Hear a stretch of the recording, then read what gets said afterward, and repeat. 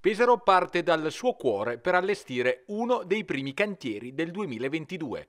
La riqualificazione di Piazza del Popolo, già approvata lo scorso novembre, è pronta a partire dalla seconda metà di gennaio, con un'attenzione focalizzata su un selciato e una pavimentazione vetuste e ammalorate da sottoporre a restyling. Un lavoro concertato con Soprintendenza Archeologica Belle Arti e Paesaggio delle Marche e con Marche Multiservizi che ha portato in giunta comunale l'approvazione di uno stanziamento di 600.000 euro per un'opera che sarà svolta in diversi step per non sovraccaricare di cantieri l'area cittadina centrale per la passeggiata e il commercio.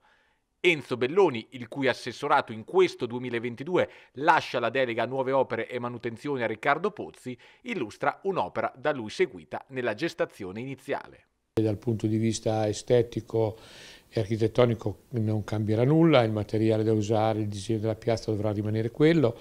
e abbiamo anche coinvolto marche multiservizi rispetto alla situazione dei sottoservizi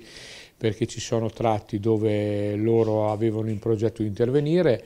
e, e questa è l'occasione per prendere due piccioni con una fava, nel senso sistemiamo la piazza e sistemiamo anche i sottoservizi della piazza dove eh, succede che ogni tanto si verificano delle piccole rotture. La piazza del popolo è diventata ed è, ed è sempre il, il cuore di una città, la piazza la Piazza del Popolo in particolare negli ultimi anni ha avuto un sacco di eventi e continueranno ad esserci, quindi ci piaceva pensare che era arrivato il momento giusto per riqualificarla, magari mantenendo lo stesso disegno, però modificando le panchine e quello che la rende in qualche modo, che la renderà in qualche modo caratteristica e che caratterizzerà la città.